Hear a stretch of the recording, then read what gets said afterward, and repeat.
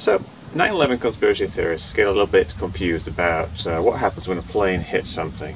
They like to compare other plane crashes, more ordinary plane crashes, to the crashes of uh, the World Trade Center and the Shanksville crash. Now, these crashes are very different because most crashes happen when a plane is either trying to land, or it's trying to take off, or it's trying to land because it's run out of fuel and doesn't have any power. So these crashes are normally at very slow speed. Now, when a plane comes into land, it comes in and goes parallel to the ground until it slows down enough to stop. When a plane crashes when it's trying to land, it's usually because it goes a bit too slow or it goes a bit a little bit too fast and it just can't maintain control and eventually something hits the ground in a way that's not intended and the plane will tumble over. Now we could simulate this with this by like throwing a plane around but planes model planes of this size, about two inches, are incredibly strong so we have to find some different analog that we can use instead and what I decided to use was an egg. Eggs are reasonably strong. You can uh, roll them around. You can you can drop them from a few inches onto a, a normal surface, and they won't break. They're fairly strong. Uh, but if I throw them against the wall, obviously it's going to smash. So I'm going to do three experiments. I'm going to drop it uh, onto a concrete surface from a, uh, a, high altitude.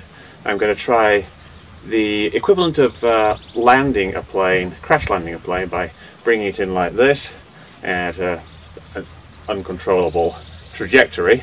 I'm going to try dropping it into a softer medium, which is uh, some cat litter I have in the box here, see what happens there. And I'm going to try dropping it onto a grid, uh, metal grid that I have. It's just a couple of uh, quarter inch metal square grids. So we'll see what happens when we drop that on, onto it from a high uh, altitude. Now, it's the same as really as going very fast sideways, going very fast down, the result is the same, so it's just a, an easy way of getting a consistent velocity. So let's see what happens.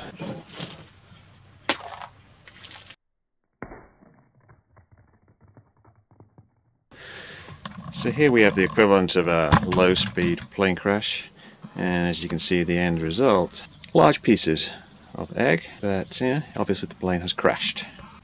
Test 2 onto concrete from above.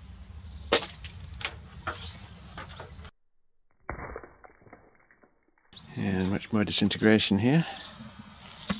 Compare that to this. Test 3 into the cat litter.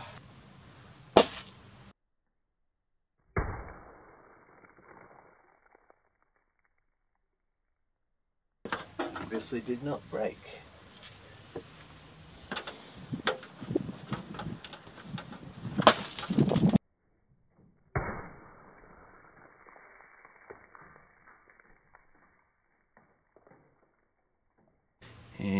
And this experiment is into a wire mesh.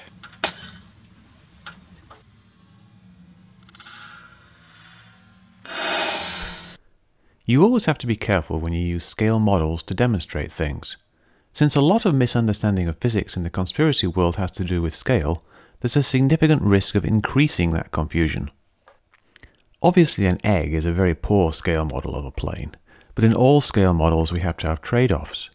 Here I wanted something that was both heavy and strong enough to withstand quite a bit of force, but would also break under stronger impacts. The egg works fine for this even though it's wrong in many other ways. The model plane would not work at all, as the scale is thousands of times too strong. What we are demonstrating here is that different circumstances lead to different results. A low-speed shallow crash breaks the egg open, but the shell is largely intact. A high-speed steep angle crash breaks the shell into much smaller pieces which are ejected long distances. A high-speed steep impact into gravel also shatters the shell into small pieces, but the result is more constrained in a crater. Hitting a surface with holes in it allows some of the egg to pass through. Remember these are not meant to be exact recreations of the 9-11 impacts. They just serve to illustrate the types of differences in circumstances you should be looking at, and some of the types of differences in the end results. So by all means compare other plane crashes to the 9-11 crashes, but make sure you always consider the differences. How fast is the plane going? What did it hit and at what angle? Different circumstances lead to different results.